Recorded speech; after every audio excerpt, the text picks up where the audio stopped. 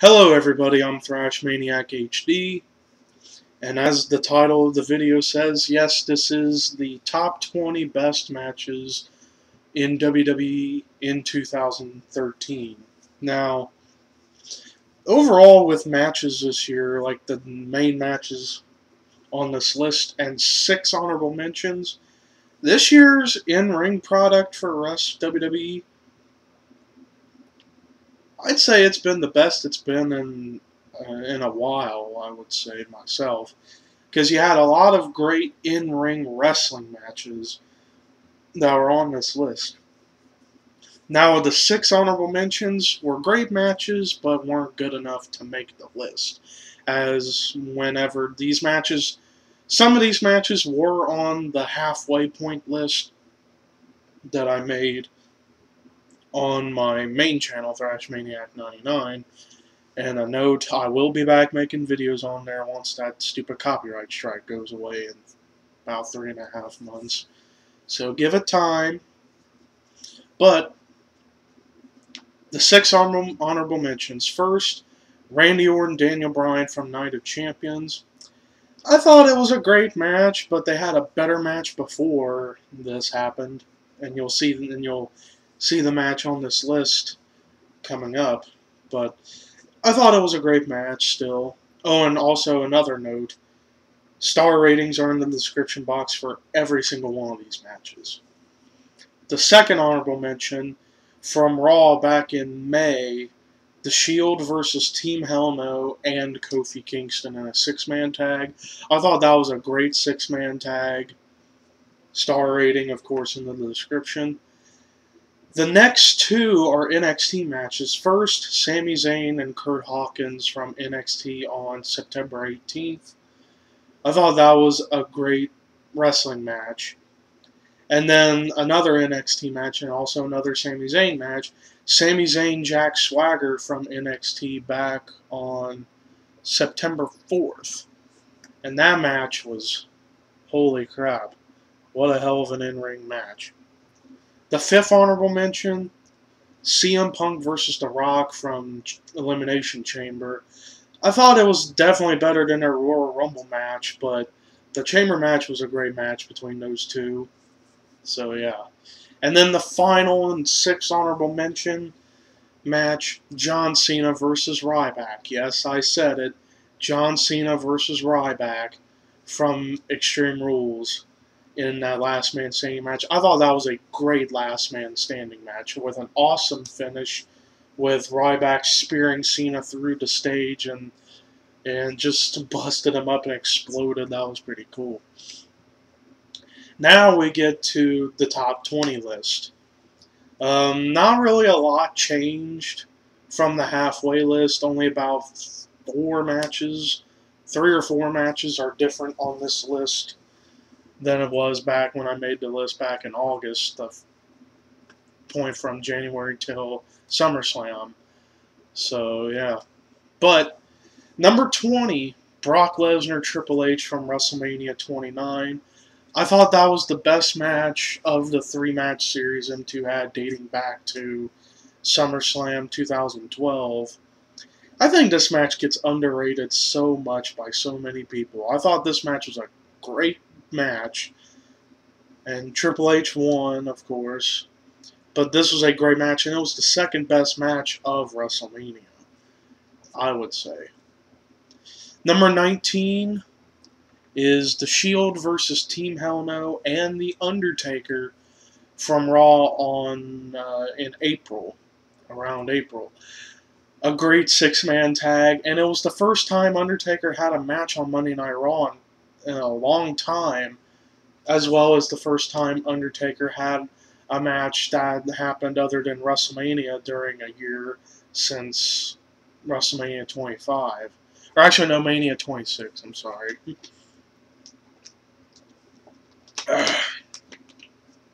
but yeah, that was a great six man tag that I would say. Shield, Team Hell No, and The Undertaker. Hell of a six man tag. Number 18, a match that happened last night from TLC. Randy Orton versus John Cena in the TLC match for the World and WWE titles. I thought it was a great match. the best match I'd say in the entire rivalry of uh, Randy Orton, John Cena, going back six years. I think that was the best match they've had one on one, in my opinion. Number 17, Sami Zayn, Adrian Neville from NXT on November 26th in the number one contenders match to get a title shot at Bo Dallas.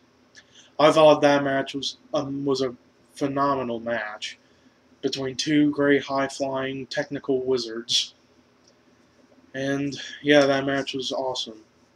Number 16, Cody Rhodes, Goldust, the Usos, and Rey Mysterio versus The Shield and the Real Americans from Survivor Series. I thought that was an amazing Survivor Series match. And Roman Reigns, the MVP of that match, and just kicked ass in that match. And yeah, that match was amazing. Number 15, Alberto Del Rio versus Christian from SummerSlam for the World Heavyweight title. That match was excellent. An excellent match between Del Rio and Christian for the world title. It's a shame Christian did not win the title that night. But it, it is what it is.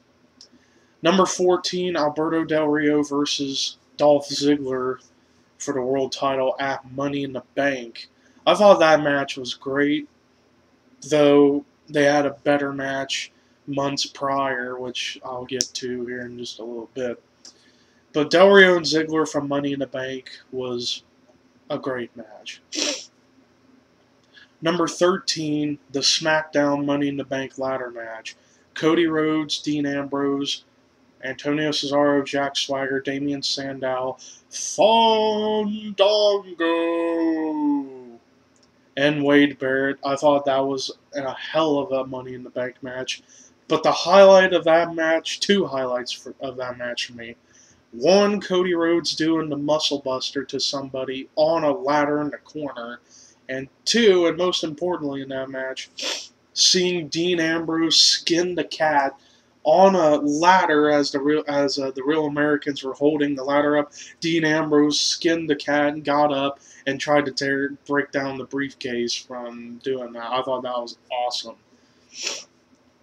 Number 12, the Raw Money in the Bank ladder match between CM Punk, Randy Orton, Daniel Bryan, Christian, Sheamus, and Rob Van Dam, who made his return that night.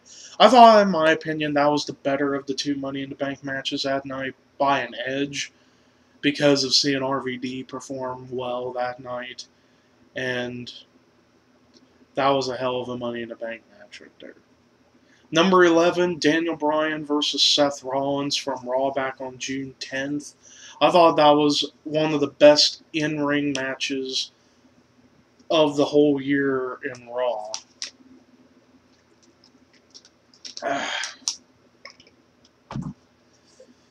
But yeah, that match was great.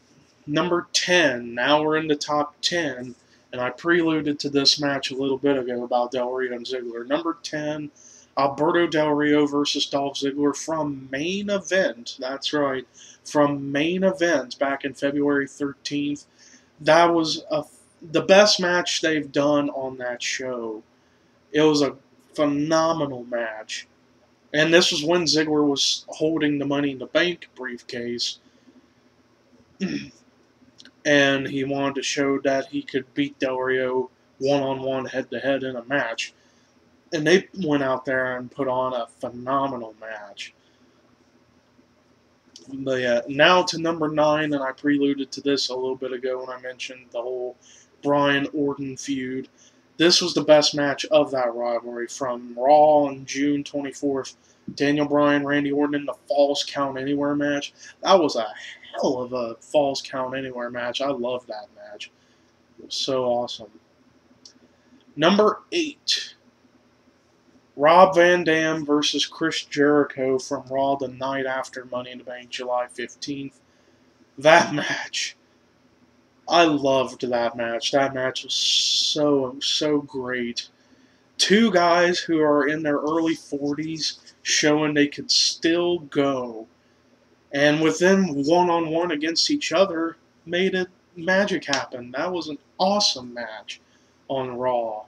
Phenomenal And RVD won, which was cool to set him up for what he was going to be doing the next couple months afterwards.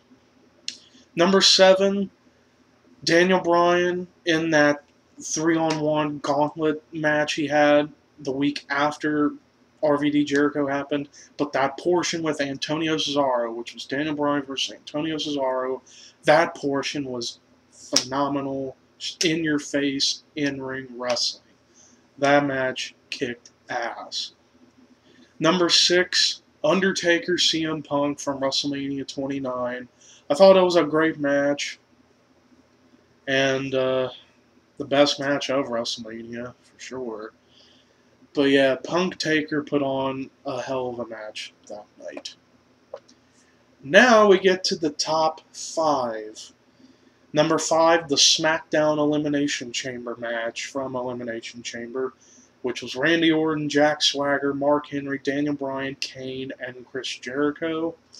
I thought that match was amazing. I thought it was uh, one of the best Elimination Chamber matches I ever saw.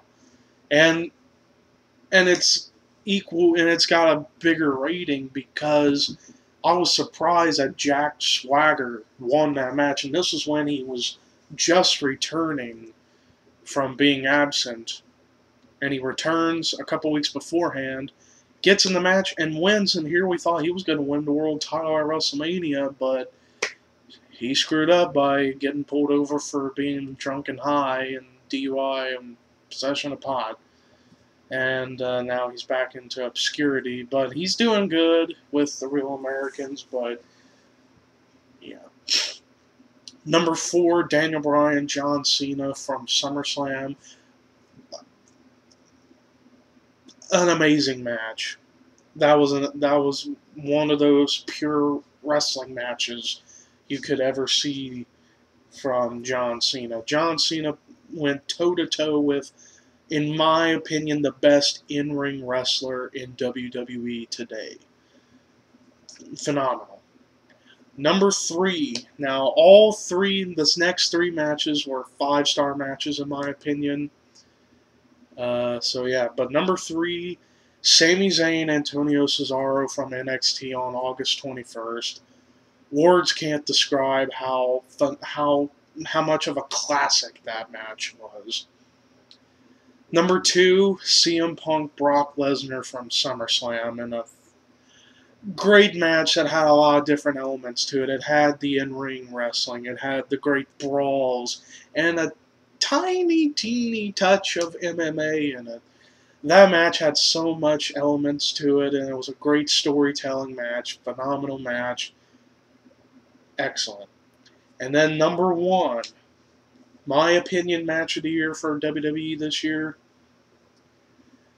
was from February on Raw. CM Punk, John Cena, number one contender to face The Rock at WrestleMania.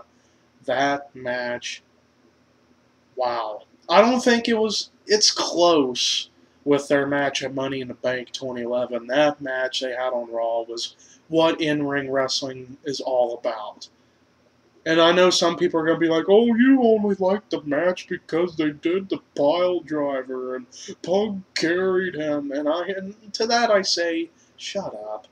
This is my list, my opinion. If you have a different opinion, that's your opinion. In my opinion, this was a great pure in ring match. And no, Cena didn't get carried by Punk.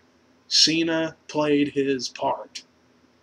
I always have to point that out to those dumbasses out there who think Cena only has great matches because I carry him when he plays his part, people. Come on. But anyways, Punk Cena from Raw back in February, absolutely phenomenal. One of the best matches in the history of Monday Night Raw, bar none. And yeah, that does it for this top 20 2013 WWE matches. And of course, the six honorable mentions. You want to see the star ratings in the list itself. They'll be in the description box. Check them out for yourself. And I want to see you guys make a video about what do you think were the best matches from WWE this year. either leave a comment or make a video yourself. I would much prefer to see the videos because I like to hear what you guys have to say. But anyways, thank you guys for watching this video. Peace.